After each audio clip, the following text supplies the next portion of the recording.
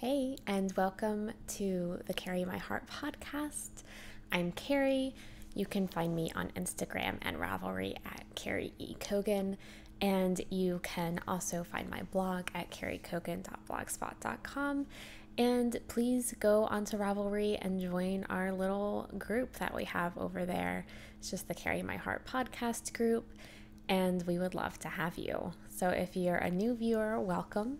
I am so glad that you found this podcast. And if you're a returning viewer, thank you so much for coming back. It really means a lot to me. So, this week, I'm going to do something a little different because I don't really have anything to show you this week. I don't have any new works in progress or any finished objects. And so, I won't bore you with the same old, same old.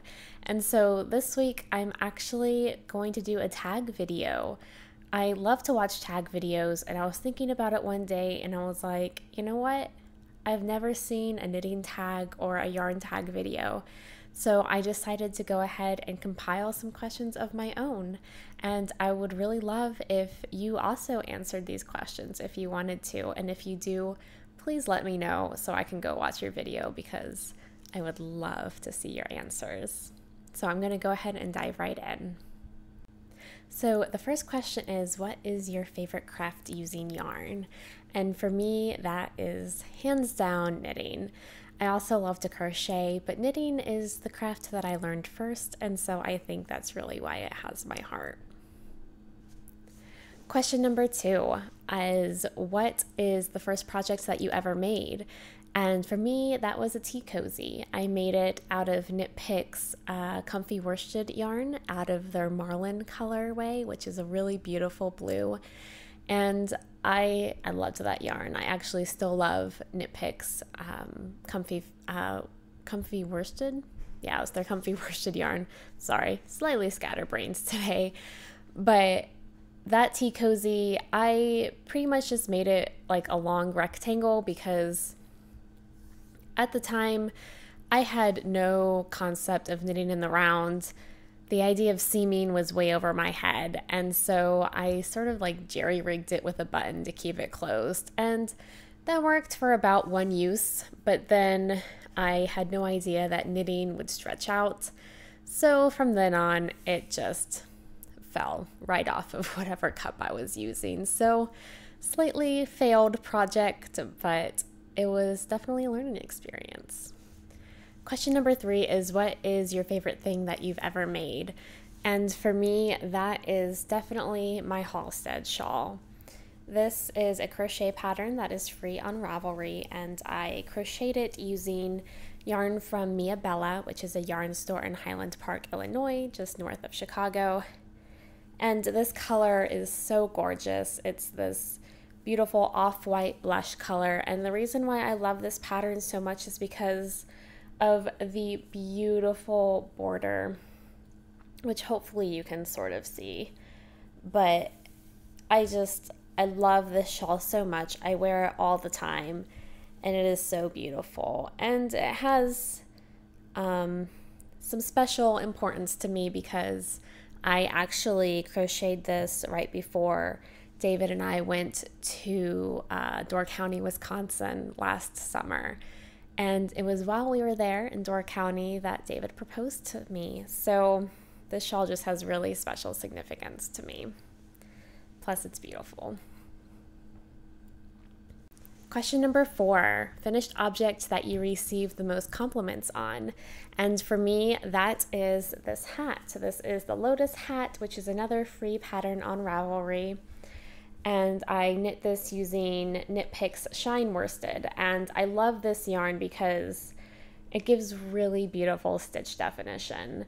And this pattern is so great because I am not a huge cabling knitter, and so this pattern has sort of like mock cables, and it's really, really pretty. And I probably receive the most compliments on this because I wear this hat all the time, so there's definitely a lot of opportunity for it to be complimented. But it always makes me so happy when somebody tells me they love my hat and because I love it too and I worked hard on this hat. This is one of the first hats I ever made and since then, I've actually done this pattern again because I really enjoyed it. The next question is How old were you when you learned to knit or crochet? And knitting, I technically learned how to cast on and the knit stitch when I was seven or eight years old, but I didn't officially get into knitting until about four years ago. And then crochet, I learned three years ago. Question number six Who taught you? So, the person who taught me how to knit when I was so young was actually my sister Colleen. She is five years older than me, and she had received some knitting needles and just some acrylic yarn and was learning how to knit from a book. And so she also taught me, and that is just where it all started, I guess. And then um, I never, never made anything. Um, obviously, they were her knitting needles, but when I um, was in college, when I first met David, I was telling him that uh, knitting was something that I had tried when I was younger and something that I really wanted to try again. And so for our first Valentine's Day together, he got me a couple sets of needles and some yarn. And I guess that's where it all started. And then uh, for crochet, nobody taught me. I'm self taught. I guess you could say YouTube taught me um, it, because YouTube is just such a great resource. Question number seven Where do you usually buy yarn? So, I am mostly an online yarn buyer.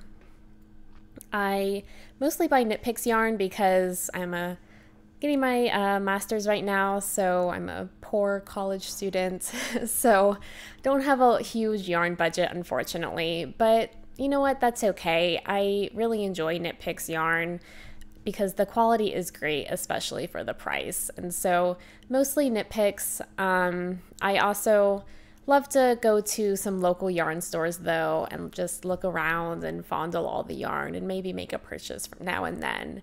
And then I also obviously get yarn from YarnCon every year. Question number eight last yarn that you bought. Speaking of YarnCon, so the most recent yarn that I bought is this yarn from Fleur Fiber.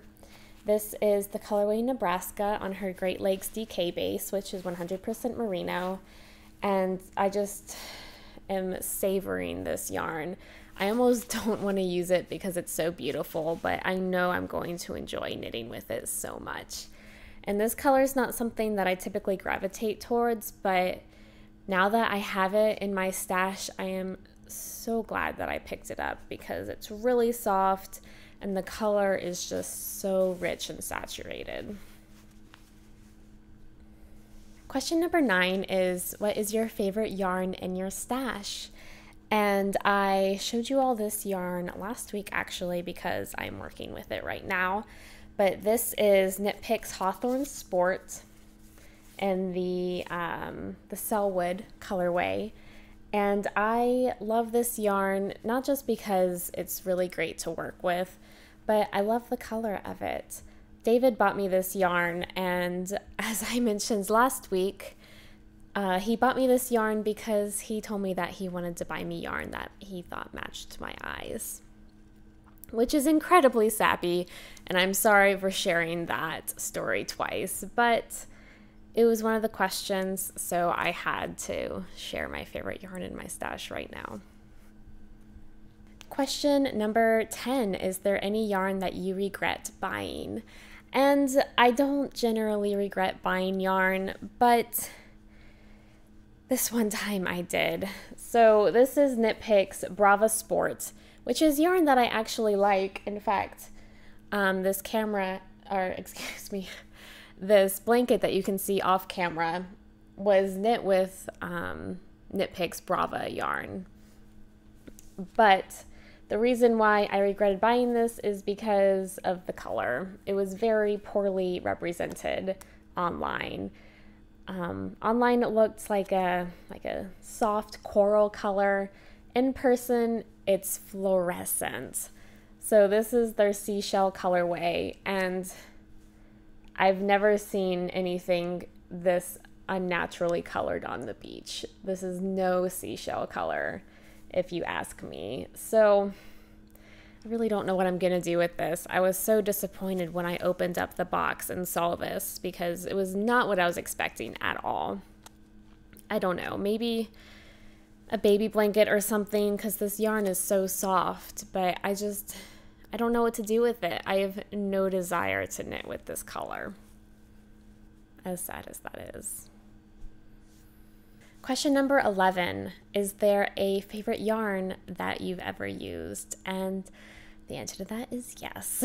I don't have any of it to show you, unfortunately, because um, I have none left, and what I'm using it for is kind of a secret right now. I cannot show it to you quite yet, but it is from Mirasol Yarns, and it is their Sulka Legato um, yarn, which is um, 60 20 20 merino, silk, and alpaca. So it is so soft and drapey, and it's a light fingering, I believe, and it is just, it was heavenly to work with. And I really hope I can get my hands on some soon. I actually bought it from um, a yarn store in Door County when I was there last year with David.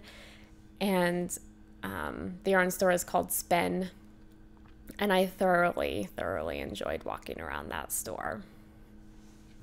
Question number 12 is What uh, color yarn are you most likely to buy?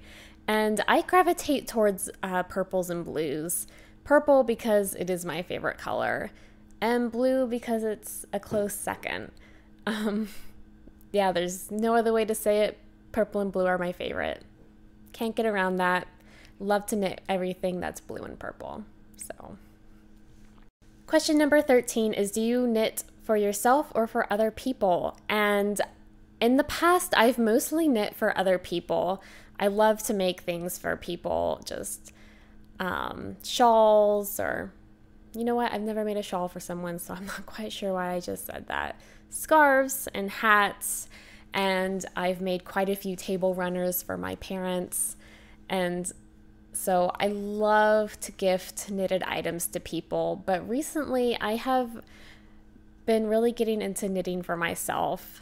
I am all about shawls these days, and it's just been such a joy to take that time and knit for myself. Question number 14 Have you ever spun your own yarn? And the answer to that is yes. I've shown this on the podcast before, but this is the first little hank of yarn that I ever spun up, which I will never use but will cherish forever because I worked really hard to get this. But currently, I am spinning with a drop spindle and I'm getting better, I think. Um, my singles are a lot more consistent, and I really can't wait to ply what I have on there. So, hopefully, I will have enough soon, but I'm a little I'm a little hesitant to start plying because I'm uh, I'm afraid that I'm gonna get it in hank form and discover that it's not quite as much yardage as I want. So I think I'm trying to err on the side of having too many um, too many yards of singles and then just having a lot of yarn. But like I said, I'm just trying to err on the side of too much instead of too little. Question number 15 Have you ever dyed your own yarn? And unfortunately, the answer to that is no. I really want to, though. Earlier today, actually, I was watching some tutorials on YouTube about acid dyeing. In particular, I was watching Nicole of Hue, Hue Loco's um, videos on YouTube, which were incredibly informative and really, really make me want to dye yarn now. I've got a yarn dyeing bug, but I probably don't need any more projects right now.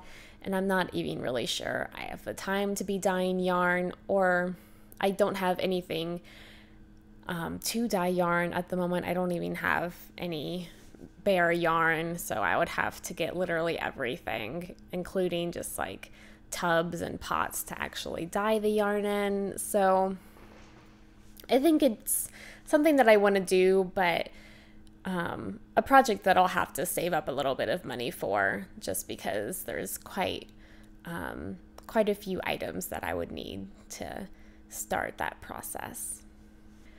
Question number 16 is How big is your stash? And as far as I'm concerned, my stash is pretty small. But a few weekends ago, probably about a month ago, I actually spent a Saturday night and went through all of my stash and documented it all on Ravelry. I know, yes, disclaimer, that is how I spend my Saturday nights. Incredibly exciting life I lead, but it was quite a process. It took quite a while, but I'm really glad that I did it because now I have all of my yarns listed in one place, and so I will never, never forget anything that I have, eh, which and so hopefully this process will help me start to use up my stash now that I know exactly what I have.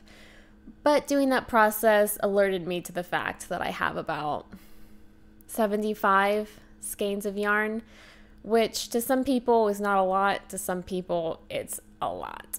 Um, for me, I guess it's not that much because I thought the number was going to be less, honestly, but I guess you know, yarn doesn't take up as much space as as I think it does. So oh well, 75 skeins. I, I can work with that. Question number 17, where do you keep your stash? And unfortunately, I don't really have anywhere to display my stash right now, which is probably why I don't think I have that much because it's mostly hidden away. I have it just in a box in my bedroom, which is sad. They want to see the light of day, but I just don't have the space right now to display them, unfortunately. Say la vie. Question number 18 is probably my favorite. It asks Are you a process knitter or a product knitter? And excuse me, my answer to that has changed a little bit over the last few years. In the past, I would definitely say I was a process knitter I I still love the process of, the process of knitting that has not changed at all. But in the past, I would make something and then not really use it after I made it. But um, these past few months, I've become really more attuned to filling in gaps in my wardrobe and just really savoring the process, but then also the end product and actually using what I've been knitting, which has been really, really satisfying. It makes um, it makes the process even better because I know that in the end I'm gonna have a beautiful accessory or garment that I'm really gonna love and use. So I'm both, I would say. Question number 19 Where do you get your inspiration? And I get my inspiration from all over. I get a lot of inspiration from the other podcasters out there who show off these gorgeous pro- uh, projects, and I'm like, I need to make that. so, definitely a lot of inspiration from podcasts. I would also say Ravelry, obviously, because Ravelry is such a huge, amazing resource. You can literally find whatever you're looking for. I love Pinterest because I love the layout. It's very visually appealing. And also, right now, I'm just getting some inspiration from life. Spring is finally slowly coming. It is a gorgeous day today. I wish I was outside right now, just taking in this warm, beautiful weather. I've got some spring fever like crazy. So I just draw inspiration from everywhere. And question number 20, last but certainly not least, why do you knit or crochet or whatever yarny craft that you do? I knit and crochet because I feel like it it brings me back to my roots. Um, I love the idea of going back to a craft that's been done for hundreds of years and it really just it centers me and grounds me and it makes me feel good about myself because um,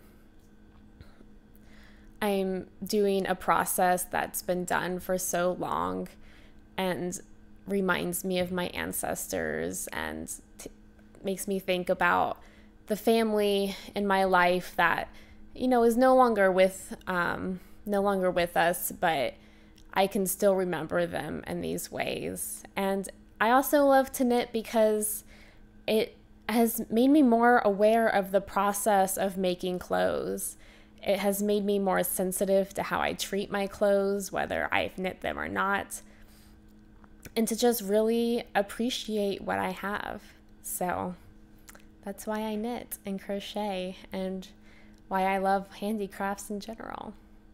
So, thank you so much for watching this video. I hope you enjoyed these questions, and I really hope you will want to answer them as well because I really am curious what your answers answers to these questions will be. So, thank you so much for watching and enjoy your week ahead. Bye.